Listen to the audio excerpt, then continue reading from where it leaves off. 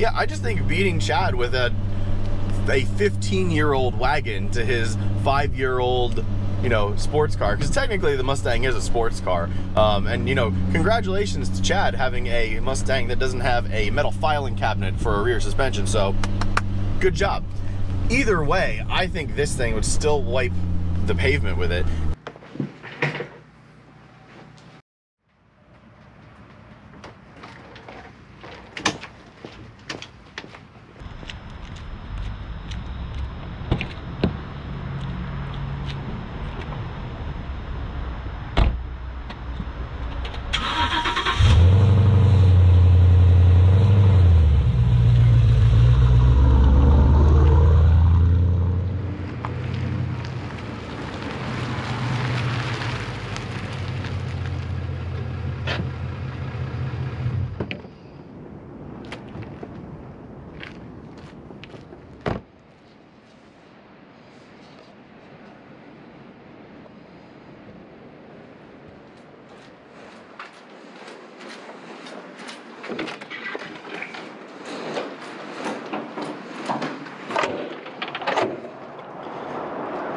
Challenge accepted.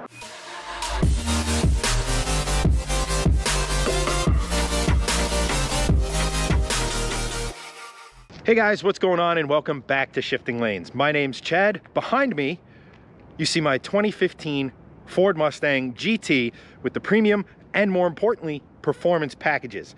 Today, I'm out here, well, to meet with this guy.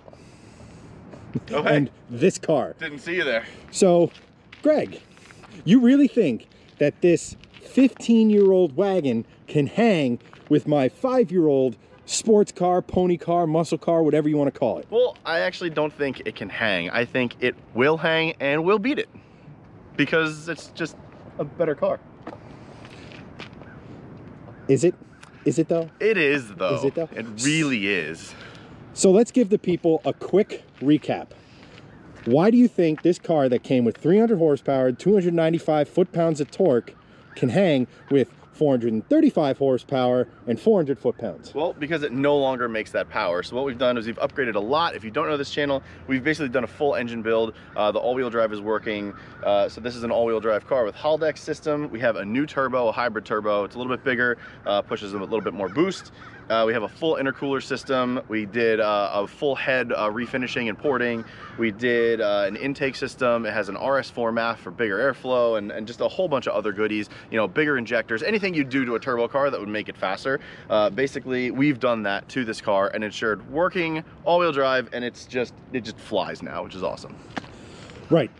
And at the end of the day, what does that mean in power? So this thing is pushing 363 at the wheels and 343 torque at the wheels. Um, now translated to you know your your crank horsepower, whatever calculations you want to do. Horsepower that doesn't matter, but is good for forms. the uh, the dyno operator told me that this thing is likely pushing about 450 horsepower at the crank given their dyno that we dynoed it on four or five times. So looking at 450 horsepower and probably in the range of like 410 uh, foot-pounds of torque. Now, to put that another way, that's about 15 horsepower more than what I'm making in the Mustang here. But you might think, Mustang, sports car, it's gotta be lighter. But here's the crazy thing about this entire challenge, and I don't really like admitting this, but that wagon weighs give or take 100 pounds as much as this sports car. Yep. So 3,800 pounds, 3,700 pounds, give or take 50 in each direction for each of them. So we're similar on power, Yep. we're similar on weight. Yep. This is a much fairer fight than I really, really wanted. However, and this is the crux of the thing, and this is what I keep telling you that you don't want to listen to. There are two things working in my favor that you have to worry about. So number one, you said the all-wheel drive is working. Yep. How's that angle gear? Uh, it's there. That's about all I can say. It's it's it exists and it has not exploded into a million pieces yet. So I'm gonna say exploding into a I'm gonna say it's working and it's working well. The the exploding into a million pieces thing is what what I really want to get to here because you would think all-wheel drive versus rear-wheel drive, all-wheel drive would have the advantage on the launch. But it doesn't because you can't hard launch this thing. Oh, well, you can. I can. Not if you want to keep your angle gear. Uh, I mean, people do it and it's okay, but I'm I'm probably not going to because I enjoy driving it. Now, to those of you who don't know, and a lot of you are Volvoists, so you probably do know this, but those of you who don't, the angle gear is basically what takes the power from the front and shoves it to the rear. Uh, yeah, pretty much. I mean, but it does it all over the place because the engine is trans transversely mounted. It basically takes the uh, the power that the engine is making and sort of angles it towards the transmission. So you, it's it's not great. It's not just like engine transmission. It's engine angle gear transmission. The problem with the angle gear in these cars and why he's to have to soft launch in anything like a quarter mile or anything like that is, well, it's the weak point in these cars. Now, do they make stronger ones? Uh, not actually that I know of. Basically, you're you're stuck with your OEM angle gear and collar sleeve, and that's pretty much it. So, natural weak point of getting all that horsepower and goodiness. Goodiness? That's a word, right? It is now. Hashtag it. Uh, so that's a weak point. Now that comes to a, my second point. If in say a quarter mile, Mm-hmm. your plan is to soft launch this thing, yes? Yeah. Basically get it rolling and then get it into second gear and go for it. Yeah. First, quick to second, then hammer it. Right. What that tells me is no boost early on.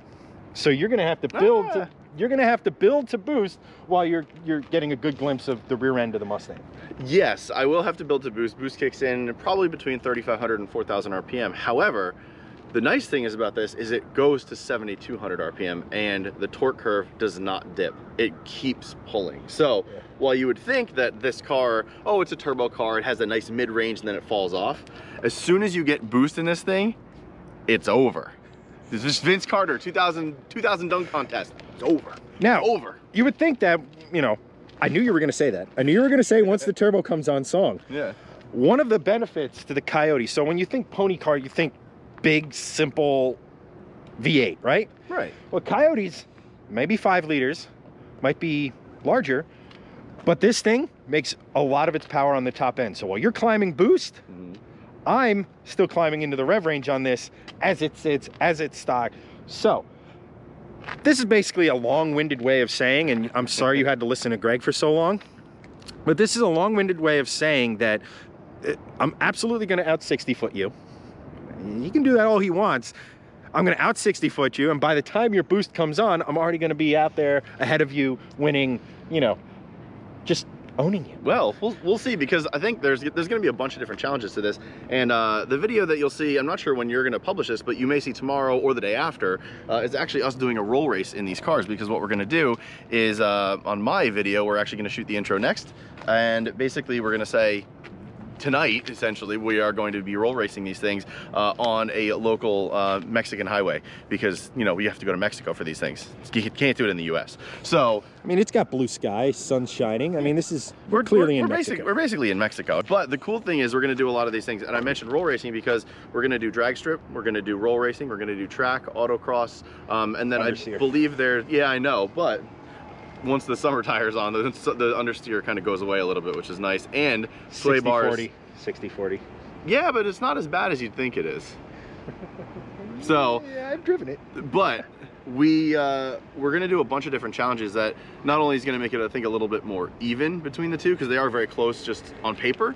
That I think that it'll, it'll be interesting to see what's the difference between you know an enthusiast dad wagon with more horsepower or an enthusiast sports coupe with Which was designed, existing horsepower. which was designed that to be that way from the factory. This was designed to be kind of a fun wagon. Hmm. This was designed to be a fun sports car.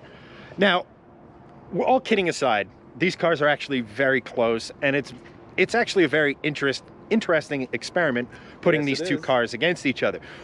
Most importantly, because I don't have to actually spend any money modding the car to put this jabroni in his place. That's true. I spent a lot of money on this thing. So, this thing, compared with this thing, is pretty even on price actually. So, it's You've spent roughly about 25k on this, right? I've spent roughly about 25k taking out the price of the car.